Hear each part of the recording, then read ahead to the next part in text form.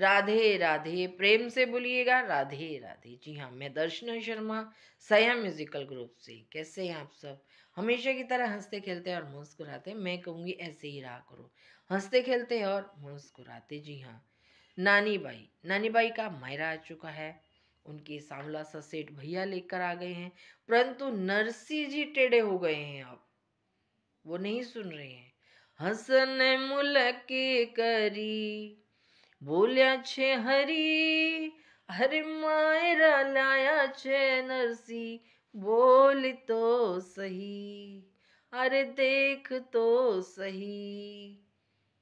पर नरसी जी देखने को तैयार नहीं कि आप अपना मायरा लेके जाओ।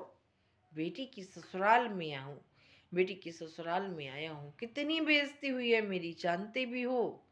चार दिन बाद भोजन चिमनी को दिया बासी खींचड़ी आपके आशीर्वाद से हो गया छप्पन भोग।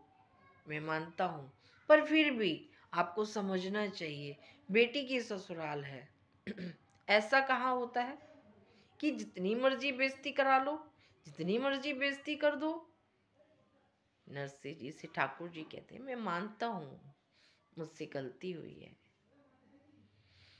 अब नरसिंह जी जब नहीं मानते तो ठाकुर जी कहते हैं कि ठीक है तुम्हें नहीं मानना तो ना सही। मैं मैं चला। और जैसे ही चला, वैसे ही ठाकुर जी चले, वैसे ही गठरी उठाई और मुड़े। अब नरसिंह जी ने सोचा कि लो, खुद तो चला चला, मायरा भी लेके जाएगा। मायरा ले जाएगा तो मेरी बच्ची कुछ इज़्ज़त और खराब कराएगा ये। महाराज, मन में हंसे। अगर ले गए मायरा तो बड़ी बेइज्जती होगी। तो महाराज, जैसे ही ठाकुर जी चले, हमारे नरसिंह जी बहुत ही ज़ोर से, राधे राधे, जी हाँ अब नरसिंह जी जब देखते हैं कि कठरी उठा के चल दिए तो बोले, चालन लगा, सांवरियो जद गाठरी उठाए अरे नरसिंह जी जानियो जो बाटो लायोड़ी ले जाए जो लाया वो तो लेके चल देगा तो मैं क्या करूँगा यहाँ ठाकुर जी मैं तो मज़ाक कर रहा था मैं आपसे नाराज़ हो सकता हूँ क्या आप तो मेरे सब कुछ हो मेरे धन मेरी माया मेरी दौलत मेरा प्रेम मेरा घर, मेरा परिवार, सब आप ही तो हो ठाकुर जी। आप ही चले जाओगे ऐसे तो मैं क्या करूँगा? अरे, आपके बिना तो मैं अधूरा हूँ। जहाँ आप नहीं, वहाँ मैं क्या करूँगा? नरसिंह जी से ठाकुर जी बोले, बस बस, मुझे पता है। इसीलिए मैं सच में नहीं जा रहा था, मैं तो मज़ाक कर रहा था। अरे तो ठाकुर जी, मैं भी तो मज़ाक ही कर रहा था। मुझे भी तो पता है, आप नहीं जाओगे। नानी बाई का मायरा भरने के बाद जाओगे।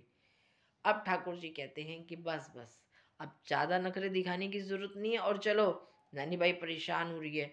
मैंने बोल दिया है। ठाकुर जी का ऐसा सुन के नरसिंह जी बहुत खुश हुए। अब नरसिंह जी के साथ जो संत आए थे, वो सब उनकी बातें सुन रहे हैं। आँखें नहीं हैं, कुछ इधर, कुछ उधर, ऐसे सब बेचारे। अधवस्था में बिना कपड़े, गुदड़ सब चाचम के पड़े हुए थे। इतनी ठंड में नरसिंह जी कहते हैं, इनका बहुत आभारी हूँ मैं। इनकी वजह से मैंने ये सफ़र तय किया है। ठाकुर जी मुस्कुराए और कहा, ठीक है, तुम्हारे साथ है तो मेरे भी प्रिय भक्त हुए। अब ठाकुर जी आगे नरसिंह जी साथ में और सोलह सूरज स्वामी उनके पीछे पीछे एक सोलह सूरज स्वामी गिरा तो उसके पीछे पीछे बाकी सब भी गिर गए। एक उठा, कहते, अरे, मुझे तो मुझे तो दिख रहा है नरसिंह जी, दूसरा भी उठा, मैं, मेरे को भी दिख रहा है नरसिंह जी।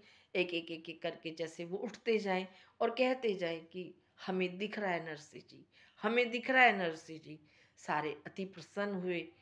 नरसिंह जी ने कहा कि जब तुम्हारे अच्छे कर्म से नरसिंह जी नरसिंह जी कहते हैं कि तुम्हारे अच्छे कर्म से ठाकुर ने, सांवला सा सेठ ने, हमारे द्वारकाधीश ने तुम्हें आँखें प्रदान की हैं। तो सबसे पहले आप इन्हीं के दर्शन कीजिए। सोलह सूरज स्वामी को हमारे ठाकुर जी साक्षात दर्शन देते हैं, अपना विशाल रूप दिखा के।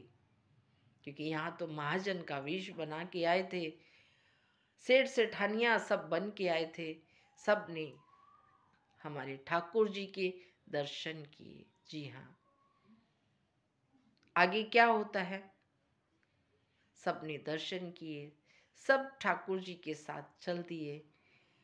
एक संत रामदास जी क्या कहते हैं कि दुनिया में रहते तो कभी कुछ नहीं कर पाते अंधे ही जी के मर जाते।